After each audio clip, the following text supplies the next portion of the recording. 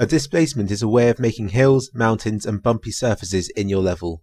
Start off by making a normal block, then click on the Toggle Texture Application tool. Only select the surfaces you want to become bumpy. Hold down Ctrl to select more than one at once. As you can see, I have a new keyboard because for some reason my old one broke. Once they're selected, click on the Displacement tab, Create, and OK. You can modify the detail of this displacement by clicking up and down in the power selection box.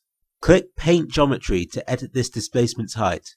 Raise lower modifies how high it is. Raise to raises it to a certain height, depending on the distance selected. Smooth is used to smooth out displacements where it may be a bit sharp and jagged. This is an extreme example and it doesn't work too well, but it should work in practice. Modifying the radius will affect how much of the displacement is modified when you use the tools in the Paint Geometry menu. The distance is how many units the displacement will move at a time when modified. Larger values take less time to reach a certain height. If you want the displacement to go side to side instead of up and down, change the axis to a different setting. This is what it looks like in the game. To make your texture blend between two different texture types, Search for blend in the texture browser. Choose one you want. I'm choosing a blend between grass and dirt. Apply it to your displacement and then you can click invert alpha to invert the texture that's used and paint alpha along with left and right mouse buttons to apply the texture you want. Doing this properly will make the texture look far more natural and realistic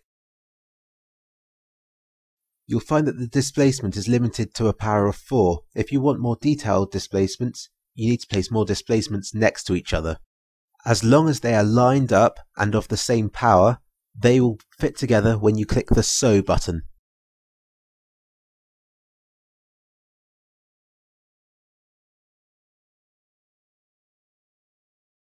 You can make the displacement as large and detailed as you like doing this method of copying and pasting. Be sure that they line up or the sew button will not work, as you can see here. Finally, never press Ctrl T when a displacement is selected, as it will prevent your map from compiling properly. Also, a displacement cannot seal your map, so place another block underneath it to seal the map in, because light can go straight through the displacement. I hope this tutorial helps you to make mountains and hills in your levels. Have fun!